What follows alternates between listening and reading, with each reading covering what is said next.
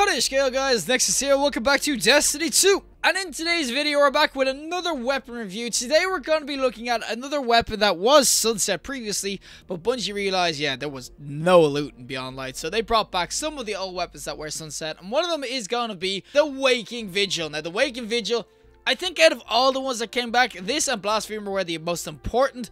Waking Vigil, though, was uh, it was just a baby to a lot of people. Uh, this is one of those weapons. It's really weird in Destiny. There's always these really niche weapons that people swear by in D2. Like, they own, they love the weapon. They loved it for some reason. That it wasn't, like, full-on meta. But certain groups of people just used to always use this. It was their meta weapon. It was their meta weapon, not the meta overall. And the Waking Vigil was one of those weapons. It used to be 150. Now it's 140 RPM. Obviously, it's adaptive frame. But the Waking Vigil used to absolutely slap PvP. The Waking Vigil itself, it is a Dreaming City weapon, so you get it from Dreaming City things. I've got two different rolls. Let me tell you, this was hard to grind. I did the freaking Shadow Throne every single week, and my god, these are the only two rolls I've ever gotten. I've got the side Fast Draw HCS, or I've got Crossfire HCS. I've also got Appended Mag, so increase my magazine. It increases to 14, or I got Ricochet rounds for extra stability and obviously range. I also got the trait Killing Wind. Final Blows grants increased mobility, weapon range, and handling for a short duration. And last but not least, I've got opening shot improved accuracy and range on the opening shot of attack. So you can see my roll is actually really, really good. The only thing I would try to stick on is maybe high cali rounds or whatever. But the Waking Vigil, you'll see on the screen all the other sorts of rolls you can get. So as I said, you can get high cali rounds,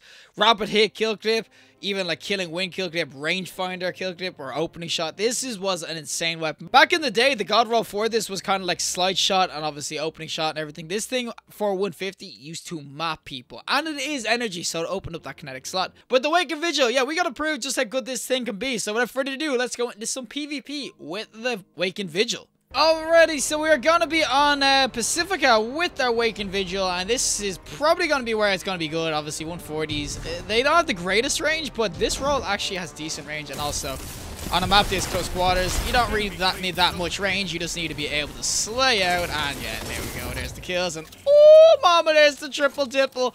Uh, with the killing wind on this, it's so sweet just for multi-kills or whatever. Now, that guy is 1 HP. No, no, no! He froze me! Oh, I'm alive. How did I, how did I survive being frozen? I have no idea, but look at this guy. He's just jumping up like a madman. Oh, bro, bro, bro, bro. No, bro, bro. Oh, my God. He's to get away. He's to get away. Ah! Oh, I jumped too much. I jumped way too much. God dang it, we could have got a roll going there. But you can see the Waking Vigil, it's pretty accurate. And the it shoots as well, just listen to it. It has a really nice energy sound to it. I know I really like kinetic weapons, but this is just... It just sounds super nice. Now, I didn't get killing wind going or anything like that. And I'm getting flinched to all hell because 120's flinch is insane. but yeah, the 140s, they can do well. Obviously, time to kill is going to be better than 120s because obviously it's a high RPM. I will say though, this was, I think at the time, this was like everyone's favorite. was more when it was a 150. 150s they were meta for a while with like Dire Promise, spare rations, everything. That's when the 150s were like at their peak. Waking Vigil was up there with them. It was like the energy equivalent to your spare rations and stuff, and that's why a lot of people love to use it. As I said, 140 as a 140, it can still do well. Now, I just got one tap by throwing knife. I mean, I applaud the accuracy, but come on, why? I can never get a kill streak going with this, though. We just need to absolutely slay out a bit more. Ooh, he is dead, thank God. I think the best thing about the Waking Vigil, though, is that it's a 140 RPM. It's going to be contending with the L Palindrome. Palindrome is obviously 142. But it is only in the Nightfall and everything, so... Oh my god, we're slaying. We slaying, we slaying. Oh, kill him, boys. Kill him, kill him. But yeah, Waking Vigil 140, Palindrome 140. So it's sort of like a different version, like, and it's easier to kind of get than obviously the other one. Can you die for me? Up, up, oh, oh, I'm running out of ammo. Get me out, get me out. Just, just dip, just. Oh my god, no. Dirty, survive. I got your back, Jack. Oh, we got him. Oh, Dirty, survive. Survive, Dirty. How are we doing this? Dirty, survive. Oh my god, I'm having an aneurysm over here trying to keep the guy. No! Oh, Dirty's alive, though. Dirty died. I was trying to keep him alive. He's low leveled. I want him to live. But yeah, back to the main point and not being freaking chaotic as hell. Uh, Waking Vigil is like the other, or the Palindrome is like a different version of this. It is Void, this is Arc. So for most people, they'd be like, oh, I get the Waking Vigil instead of getting the other thing. Oh my god, we're actually Just freaking delete. Dirty, don't worry, I got your back, Jack. I got your back. Thank you. So for people that can't get a, a palindrome or just don't nightfall or anything like that, this is definitely a good substitute. And honestly, rolls wise, I feel like this actually has better rolls than palindrome. It's got the rangefinder, it's got kill clip. I mean, rolls, it's just gonna be better. But now, obviously, oh, I'm so freaking dead. Obviously, though, when it comes to intrinsics and everything like that, they are slightly different. And Uh-huh. honestly, I think if they brought 150s back, man, that would be a lot of fun. But I think the Waking Vigil, you can see it is a solid ass hand cannon. Oh, thank God you shut him down. Screw you, Nathan, and your behemoth. Oh, we'll get this guy super fast, though. Oh, he's one shot. He's one shot, boys. He's one shot. Get him. Get his booty. Where you at? There we go. There we go. Oh, let me get this guy. And I missed. There's a Glacial Quake on it. no! Survive! Oh, oh, oh, I survived! No! Oh! His wall is used, being used against him. His wall is being used against him. Oh my god, can we just not please? Pacifica, when a behemoth goes around, it is just impossible to see anything. The walls go everywhere. You don't know what's going on. It's just, it's a freaking nightmare. But look at this guy. I mean, being able to triple tap again. Oh, oh, Oh, we alive, we dead, I'm so confused. We got a golden gun though, but being able to um, triple tap again with a 140, it feels glorious. Pacifica really goes in for that. I will still say though, a lot of people, PvP anyway, will just stick to their 120s set. 120s are just so consistent right now, they're so freaking good. So I do understand why you will like rather to use them, and I just got one tap like by the 120. And obviously I do have a god roll, and I'm still having some fall off. Like I've got the opening shot, I've got the killing wind and everything. You can get rangefinder on this too, so you can maximize the 140's range whatever. But I still will say that... Oh, oh, oh, double kill, shredded, bruh! I still will say, though, a lot of people will go for their 120s because they're just so much easier to use or whatever and be more consistent with. But I'm going to get rushed by a shotty in two seconds. Oh, you there, bro? You there? Oh, he is there. screw you, buddy. Screw you. Oh, someone else challenging. Someone else challenging. Oh, it's a, it's a Titan, boy. It's a Titan. It's a Titan. Screw you. Oh, no, no. Ah, ah, ah! Sidearm killed me!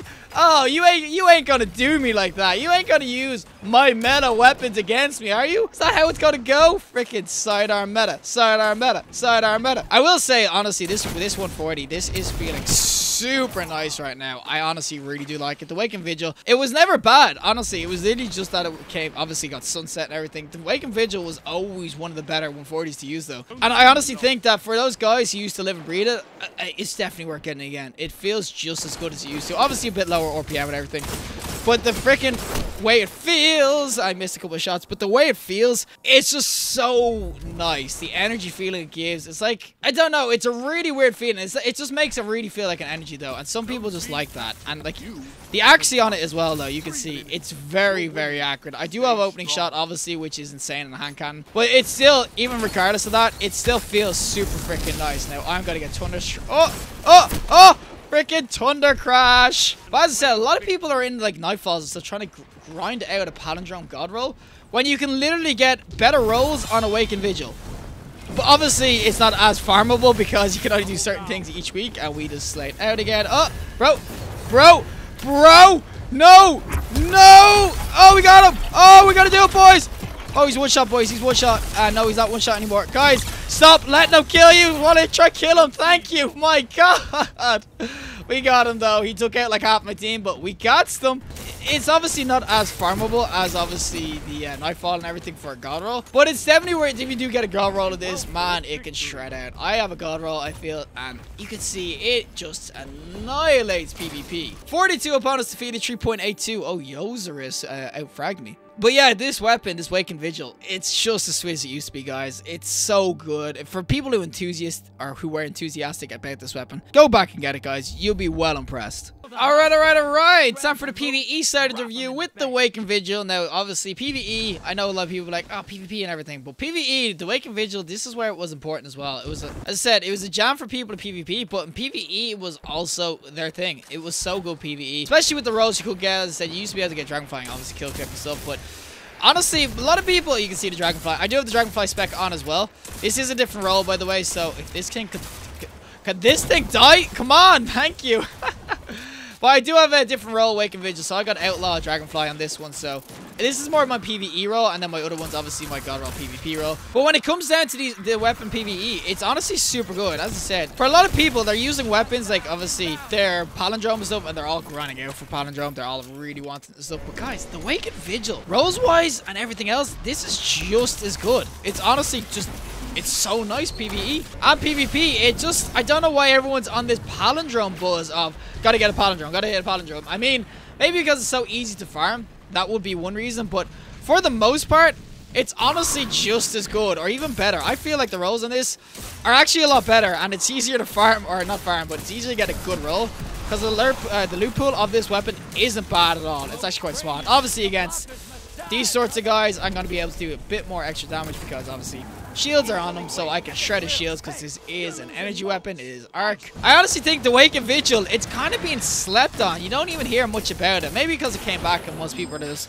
new content and everything. I do get that. But for the most part, the Awakened Vigil is so sweet PvE. You can just see it actually shreds out enemies. And the speed it goes at, it's just super nice just for consistency's sake. Dragonfly-wise, and good damage at 140. I think 140 is obviously they are the better archetype for PvE. Oh my god, we're getting absolutely stomped right now though. There's someone Primeval, so we're gonna oh try kill that thing. It did not track at all. It did not track, but we'll get rid of this guy's shield.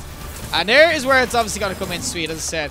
This for a lot of people. This was like literally their god roll for PvE. In terms of uh, obviously opening shot and he, or outlaw and uh, dragonfly, there is other rolls too. You can get Vorpal, you can get kill clip. There is a lot of really sweet rolls for this one that you can get that obviously make it like a lot better. So PvE wise, this has a lot of good solid rolls. That's what I'm saying. Even when you're grinding out for like a PvP roll or whatever, you can get some solid ass PvE rolls. Now we just lost, we got stomped, but honestly, PvE, this is not to be slept on either. This is a really solid PvE weapon. Well, that's it from me and the Awakened Vigil hand cannon. Honestly, guys, this is a dope ass hand cannon. I think when it became a 140, it used to be 150. Once it became 140, a lot of people kind of said, oh, I don't really want to use it anymore. It's not as good. But it's still absolutely slaps. And guys, it claps cheeks in PvP. This roll I had, the killing wind opening shot, obviously with a range and everything, it's just so sweet. We are on Pacifica, but it just shreds. It just absolutely deletes people. If you got the high cali rounds as well, you'd be flinching them into the next dimension. The Awakened Vigil, I think it's been somewhat slept on right now. I don't see a lot of people using it. Now, that just could be me not running into people having it or using it and everything, but I think a lot of people are just going for that palindrome. I don't get it. Palindrome is good, don't get me wrong. Palindrome is a sweet uh, hand cannon. It's very nostalgic and everything. It looks cool too. But in terms of just like being a good weapon, the Waking Vigil, I think is better perk pool wise, farmability wise. It's easier, and I think the Waking Vigil is kind of being like slept on a bit. I think people need to get get their hands on this again. As I said, there is that group, that solid group. It's like a weird fandom for the Waking Vigil. People used to just love it. It used to be their PVE weapon, it used to PvP weapon. People need to get back to it. I think the it's just as good as it used to be. Not as high RPM, but definitely in terms of ability of what it can do. PvE as well, it's super sweet. PvP, it's super sweet. I just think overall the Awakened Vigil is just so good in, P in Destiny 2 right now. I think that it's better than Palindrome, me personally. The way Palindrome shoots may be a bit better for some people because it's more kinetic feel. This is like really, really high energy feeling to it. So yeah, screw the Palindrome, guys. You don't need to farm Nightfalls. You don't want to be putting in the extra effort of fighting champions and stuff. Just go into your Shadow Thrones, do your Dreaming City uh, Ascendant challenges and everything, and you could get gifted Awakened Vigil. And because the perk pool is so small, you probably have close to a god roll for either PvE and PvP. But regardless, if you liked the video, show us a like, and you want to see more content, subscribe. Fantastic day, and hopefully I'll see you guys in the next one.